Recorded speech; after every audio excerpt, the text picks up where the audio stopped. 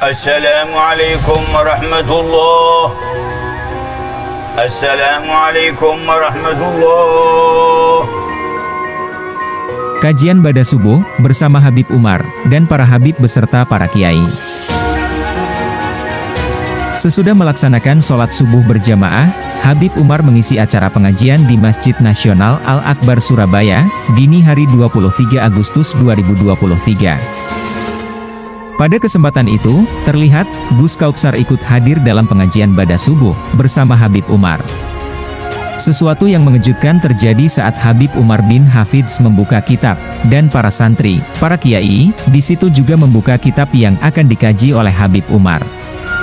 Tak lama kemudian, muncullah suara yang memanggil nama Gus Kautsar, dan ternyata panggilan itu adalah untuk Gus Kautsar membaca kitab. Gus Kausar Gus Kausar Tanpa ragu, Gus Kautsar pun langsung mengambil mikrofon sebari membacakan kitab dengan jelas. Di saat Gus Kautsar membacakan kitab, di situ suara bergemuruh terdengar, sampai Habib Umar dan Habib Jindan merasa kaget akan gemuruh tersebut. في حيز الإسيان فإن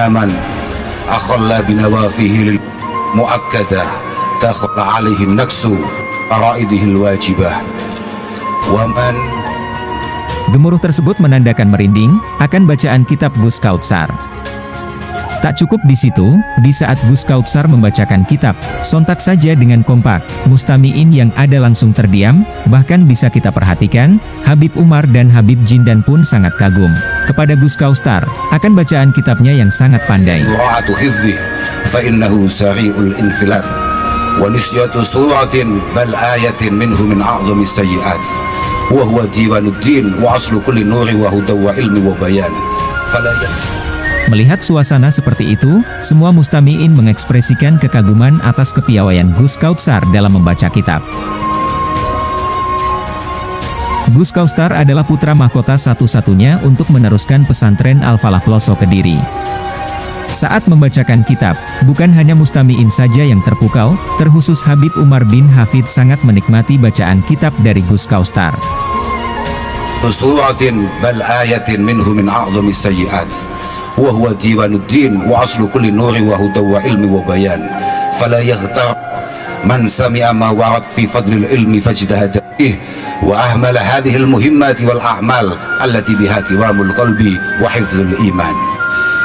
فليغتنم العاقل جوهرة عمره العزيز فإن الذرة منه رخيصة بألف درة.